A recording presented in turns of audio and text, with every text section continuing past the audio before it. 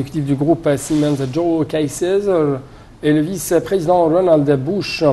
L'entretien abordé l'accord final avec Siemens pour la création d'un mécanisme global du TGV en Égypte d'une longueur de 1000 km et d'un coût de 360 milliards de livres égyptiennes. La première phase du train doit relier à la nouvelle ville d'Al-Alamin en passant de la nouvelle capitale administrative d'une longueur de 460 km et doit durer deux ans.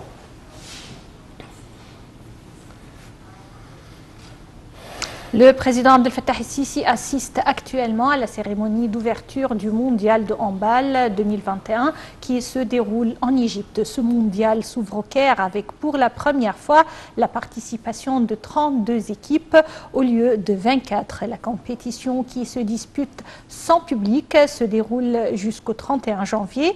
Pour le match d'ouverture, l'Égypte affronte le Chili au stade du Caire. Un commentaire.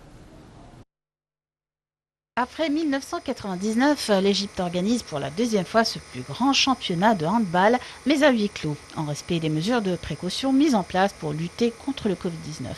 Ce sont les salles du Stade international du Caire, de la nouvelle capitale administrative du 6 octobre et de Bourg el Arab qui abriteront les matchs.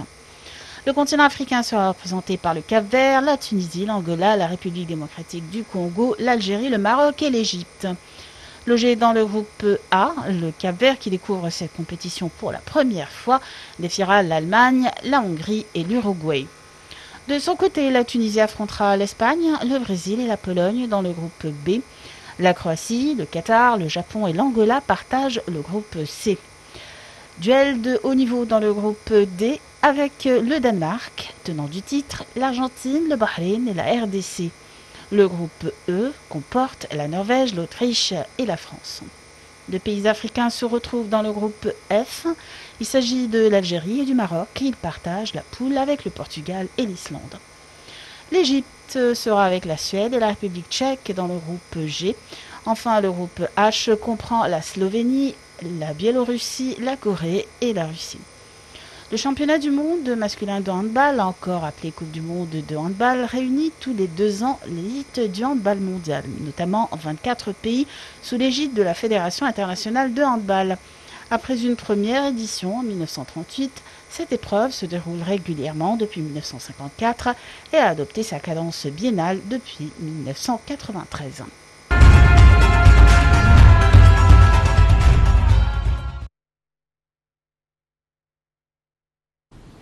Rappelez qu'à cet égard, les forces armées ont commencé les opérations de désinfection de toutes les salles couvertes au stade du Caire avant le début aujourd'hui du mondial de handball 2021 qui se déroule en Égypte. Le ministère de l'Intérieur a également déployé ses forces pour sécuriser le mondial. Les forces de sécurité sont présentes euh, aussi pour sécuriser le transport des équipes.